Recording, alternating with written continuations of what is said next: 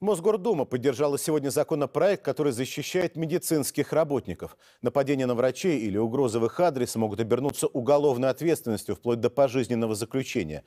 По данным Департамента здравоохранения, только в столице ежегодно фиксируется более 200 таких случаев. Инициативу московских депутатов теперь предстоит рассмотреть их коллегам из Нижней палаты Российского парламента. Все подробности у Веры Морозовой. Столичная скорая. Только у одной бригады в день по 20 выездов. С собой чемодан лекарств и планшет с тревожной кнопкой. Оскорбления и угрозы. Да, угрозы там расправы той же самой физической, да, там, э, там выгоняют, там, хватают, толкают. В Саратове девушку фельдшера вместо больного в квартире встретили пьяные мужчины и хотели они совсем не лечения. При этом врач просто обязан оказать медицинскую помощь. А кто поможет ему? Медработникам предлагают дать особый статус сродни полицейским, который защитит их на законодательном уровне. Работу медиков можно сравнить с работой полицейских. Они ответственны за чужую жизнь. И в случае нападения пострадает не только врач, но и пациент, которому он вовремя не окажет помощь. Для этого новый закон, как предлагали ранее, принимать не нужно. Достаточно внести поправки в уже существующую статью Уголовного кодекса.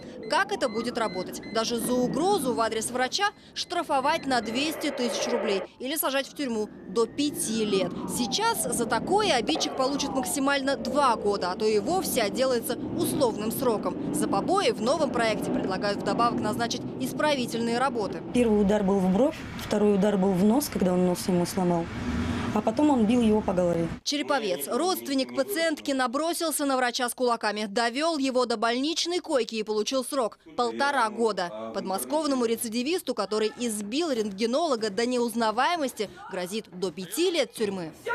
Все!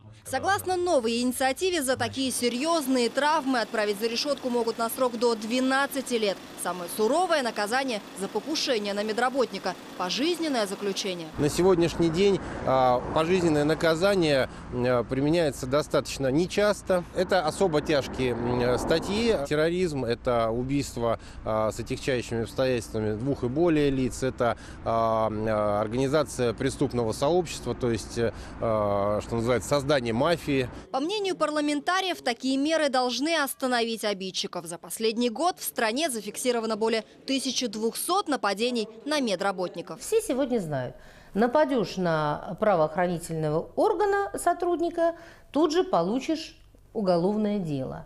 А по медику еще 50-50, будет, не будет. Поэтому подумаешь, там ударил пару раз. Сейчас все будут знать. Напал, сядешь в тюрьму. Однако возникают вопросы об ужесточении ответственности самих врачей, которые тоже иногда не прочь помахать кулаками. Так, в конце 2015 года белгородский врач отправил пациента на тот свет. В Перми анестезиолог избил мужчину, который едва очнулся после операции на сердце. Для медработников наказание за рукоприкладство новые поправки пока не предусматривают. Такие статьи и так есть в Уголовном кодексе, они работающие.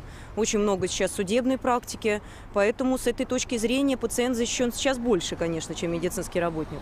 Чтобы лучше защитить врача, предполагается, что все заявления будут рассматривать не в МВД, как сейчас, а в Следственном комитете. А если дело дойдет до суда, то в нем будут принимать участие присяжные заседатели. Инициатива московских парламентариев уже направлена на рассмотрение в Госдуму. Если поправки в уголовный и уголовно-процессуальные кодексы утвердят, то новые правила будут действовать по всей стране.